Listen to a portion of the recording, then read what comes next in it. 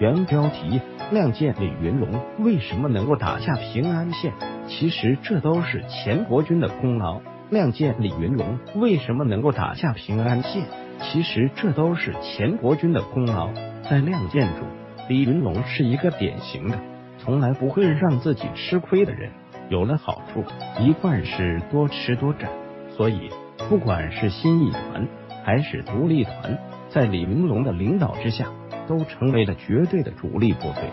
在抢夺军备物资上，李云龙都能做到不吃亏，更何况是挨了山本一木一个耳刮子。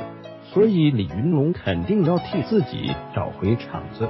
从赵家峪刚刚逃出来，李云龙还没有来得及喘口气。就下令全团集合。原本李云龙打算能来个一两千人就不错了，结果一下子就来了上万人，而且武器装备也很上档次，连意大利炮都装备上，手里的家伙硬，腰杆子自然就硬。李云龙连作战计划都不制定了，直接带着部队就杀到了平安城下，仗着自己的部队是日军的八倍，所以李云龙里三层外三层的。将平安县围了个水泄不通，山本一木坐不住了。这些人虽然在他看来是一群乌合之众，但是战斗力却很强。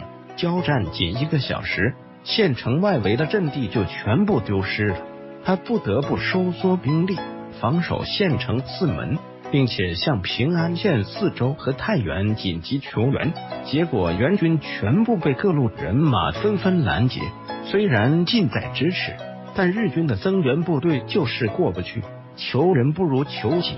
山本一木自以为抓住了李云龙的软肋，然后带着秀琴上了城楼，唧唧歪歪说了半天，无非就是想利用李云龙的老婆来达到拖延时间，或者是逼着李云龙撤兵的目的。结果李云龙根本就不买账，为了消灭山本，连老婆都不要了，对准城楼就是一炮。山本和秀琴都被轰成了渣渣，平安之战以李云龙的完胜而告终。那么这里就有一个问题：李云龙为什么能够打下平安县呢？其实这都是钱伯钧的功劳。李云龙最应该感谢的就是原楚云飞的一营营长钱伯钧。早在平安之战前的李家镇兵变事件中，李云龙名义上是协助楚云飞平叛。其实就是来趁火打劫的。刚下令将钱伯钧一营的缴械，就立马派人将武器全部运回了根据地，生怕被楚云飞看见了。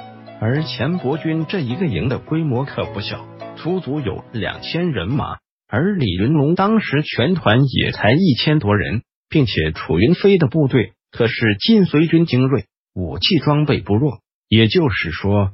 李云龙虽然搬回去了一个营的装备，实则可以装备两个团。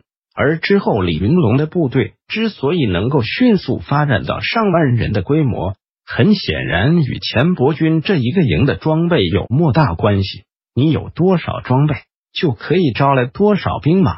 所以李云龙能够打下平安县，其实都是钱伯钧的功劳。